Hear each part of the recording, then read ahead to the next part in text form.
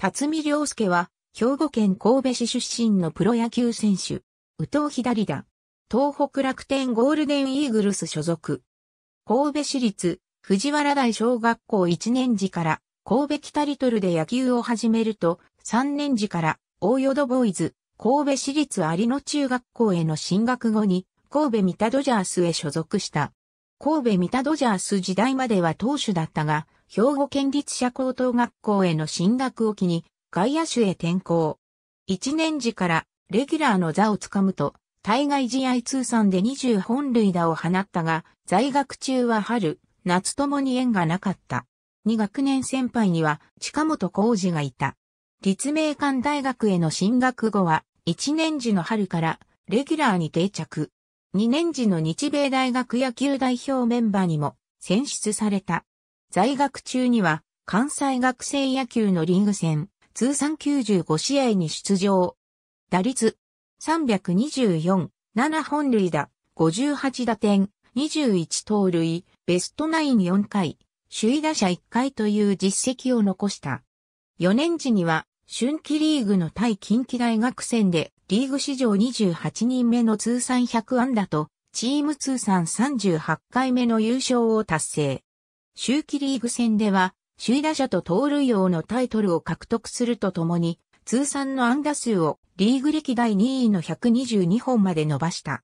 2018年の NPB ドラフト会議1巡目で、藤原康史大を抽選で外した東北楽天ゴールデンイーグルスは、阪神タイガース、読売ジャイアンツ、福岡ソフトバンクホークスとの2度目の指名重複の末に独占交渉権を獲得。契約金1億円、年俸1500万円という条件で入団した。入団当初の背番号は7。くしくも、抽選で辰巳への交渉権を逃した阪神は、大阪ガスに所属していた先輩の金本を改めて一巡目で指名した。2019年には春季キャンプから一軍に帯同。レギュラー右翼手の座を、お声類と争った末に、お声と並んで開幕一軍入りを果たした。開幕戦の先発出場こそ、お声に明け渡したが、3月30日の千葉ロッテマリーンズでは9回裏の右翼守備で公式戦にデビュー。この試合で逆転本塁打を放っていたお声に代わって、翌3月31日の第3戦で9番右翼手として先発出場すると、2回表1四満塁で迎えた公式戦初打席で押し出し死球で初打点、4回表の第2打席で初安打、8回表の第4打席で死球による出塁から初盗塁を相次いで記録した。その後は打率が2割台前半と低迷し、4月22日に出場選手登録を初めて抹消されたが、打撃フォームや走塁面の修正による復調を経て5月3日に再登録。5月6日の対埼玉西武ライオンズ戦に2番中堅手として先発出場すると3回表の第2打席で1軍公式戦の初本塁打をバックスクリーンに放った。さらに2日後の対福岡ソフトバンクホークス戦では1点ビハインドの9回裏1四満塁で迎えた打席で森唯斗からサヨナラ安打を記録。この一打が最大7点差からの逆転勝利にもつながったことから5月度のパシフィックリーグサヨナラ賞を受賞した。6月13日の対広島東洋カープ戦では同期入団の大卒保守である太田光との間でアベッカ本塁打を記録。